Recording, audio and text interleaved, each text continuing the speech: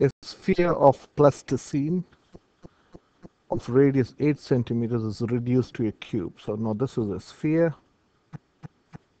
This is a, plasticine sphere of radius 8 centimeters. Now what you do is from this you're going to make a, a sphere. Sorry, from a, uh, from the sphere you're going to make a cube. Okay, the cube and you want to find the uh, what's the length of this cube to the nearest millimeter. You want to find what's the side length in nearest millimeter. So one thing that you have to understand for this type of question is the volume of the sphere, the volume of sphere is equal to the volume of cube. That's the basic idea. The volume of sphere is equal because it's the same quantity the same volume that made the sphere is making the cube. So you can say the volume of sphere is equal to the volume of cube. Okay, so hopefully you know the volume, the formula for volume of cube and sphere. So volume of uh, sphere is 4 times 4 times pi times radius cube divided by 3 and the volume of his uh, oh, sorry volume of cube I should have written here not sphere volume of cube. Volume of uh, sphere is equal to the volume of cube.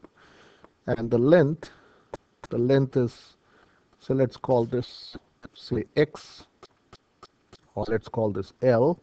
So the volume of a cube would be L cube so L times L times L the volume of a sphere is equal to the volume of cube. So I've just written the formula. So now we can apply, substitute the value. So you can say 4 times pi times 8 cube divided by 3 is equal to L cube. Okay, so this is, let's uh, use the calculator to find this. So this is 4 times shift pi times 8 cube divided by 3 which is equal to 2144.66 so let me write that 2144.66 centimeter cube is equal to L cube. Now if you want to find L from L cube what would you do? So let me write this again. So L cube is 2144.66. Now to undo this cube, you have to take the cube root. So you have to take the cube root of this side. So you have to take the cube root of this number. So cube and cube root and cube cancel each other out.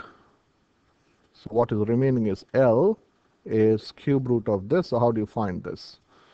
So you can go like this. So press shift and that is in some calculators you directly have the cube root key.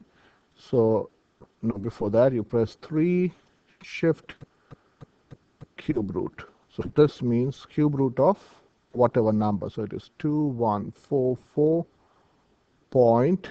I hope I can't see the point here this is 0.66 equal 12.89 okay so this is about 12.89 so you can't have you can't round it up.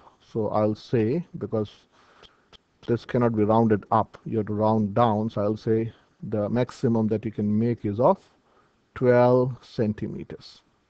So this is 12 so yeah, yeah you can, so you can change this into millimeters. So let me write 12.89 centimeters which is in 2 dp. This is centimeters in 2 dp. And so if you want to change this into millimeter it's 128 uh, millimeters. I can say this is 128 or 1 129 I would say 128 millimeter can be the length of the cube